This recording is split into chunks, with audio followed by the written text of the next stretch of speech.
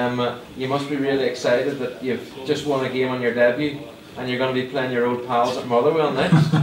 yeah, no, um, you know, first of all, I just want to say, you know, thank God that um, everybody got off the pitch at the end. Um, you know, with no injuries, and um, because obviously football is a very competitive game, so so it's always good, fair play to see that nobody comes out uh, with any like serious injury. And um, yeah, your question, you know, um, it's always great to win, and um, yeah, you know, I've I've come I've come here to um, uh, you know almost revive my career again, start all over again, and and uh, there's no better way to start than you know winning in, in a Europa League qualification, and um, you know so especially the way we did it today, you know, um, and um, like you said, so next one is uh, Too Fir Park Motherwell. So we, already spoke with my um, ex teammates there that they were like, you need to win.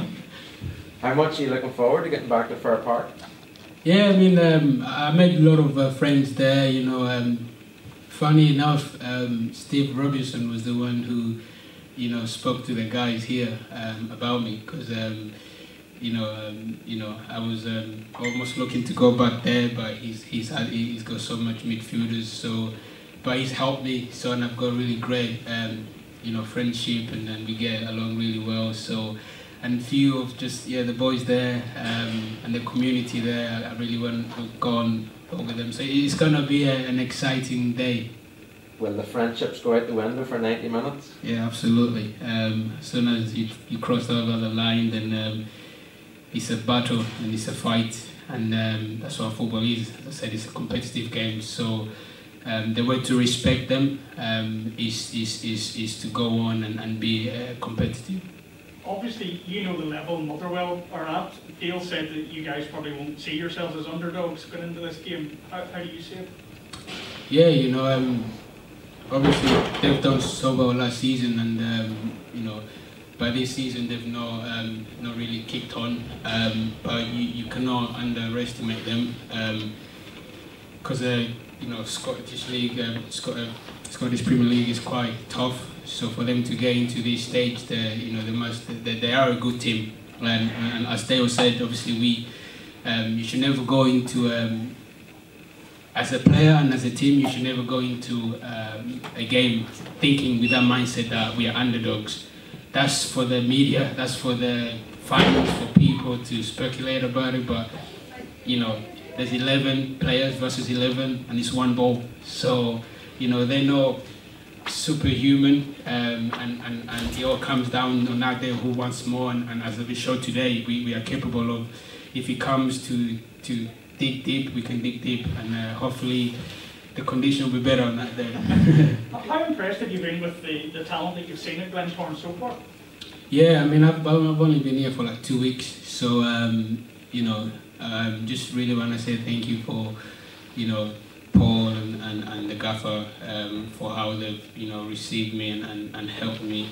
And the, and the boys are really like um, really nice and you know really caring. So you know it's it's, it's just been um, a breath of fresh air so far. And th- there, there is there is ability you know and I think sometimes you know um, it almost takes somebody to to speak to and like to speak to you and say hey you know you're good enough. You know you know maybe somebody have not told you this, but you know you've got potential. You just need to, you know, for me like um, Rory um, uh, at number ten, you know, great talent, and it's almost like he needs somebody to to give him that belief and you know and confidence. So we, we, we as we go along, we're gonna try to inject that into the team. So every day, every game, we go with, with belief that you know we are a good team and um, in a respect way that we can compete with anyone. You mentioned kind of starting again, Gaël, at this club. Can you just expand on that? Is it, is it a bit like sort of pressing the reset button in terms of your career? Because you're still only 26, you still have a lot of football left in you. Hmm. Yeah, I mean, um, you know, it seems like I've been in the football for, for decades, but, uh, um, you know, but the past is in the past, um, can't change that. And um, as most people probably think that I've come here, um, you know, to just use this as a stepping stone. But you know, um, you know, the gaffer and Paul have told me, you know, what they, the plan, and you know, and you never know the future. I, I wanna come here and, and make you know and make a change and be a part of, of helping Glentoran to you know to, to go into that period where they win trophies and stuff. And they've already started without me, so I'm just here to just help them. And, and if I can help them, then you know it will it will bounce back um, and, and help me. Can, can you talk us a bit about your career, Gaël? Because it's been an incredible career. You're a player who's played in the Premier League for starters, for Newcastle. Obviously, we talked about Motherwell. Um, you nearly went to Rangers, Coventry. Just give us a flavour of what it's been like for you. Yeah, obviously, like as everybody knows, you know, you know, to cut the story short, I was come from the Academy of Coventry. I made my debut at 17, and then, um, you know, there was few, so many interest, and then obviously, um, with with almost, you know, I, I put it down as a, you know, wrong advised. Um, you know, the best thing for me at that time would have been to stay at Coventry, um, even though we got relegated to League One, but as a, as a 17, 18 years old.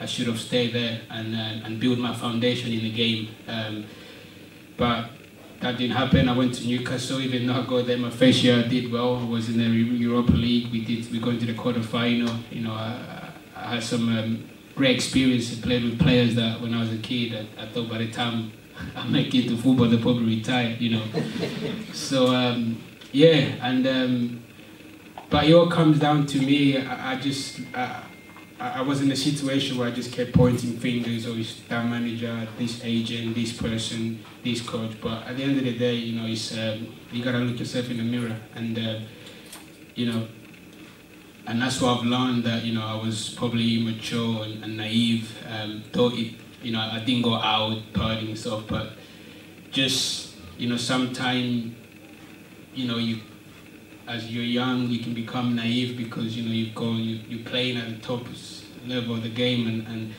everything is going well, and um, you just you just feel comfortable being around, and you're in the reserve rather than thinking, you know, I need to get out here and go on loan. But you're just thinking, know, my chance will come in the first team, my chance will come because you just love the surrounding of this of the place. So but yeah, now you know I'm 26 and I just want to play as many games as possible, and uh, like I said, and just help Glentoran to uh, be successful. Can I ask you what happened with Rangers, by the way? Uh, yeah, like I said, just let, let's leave the past in the past. Fair enough. You didn't want to stay with yeah.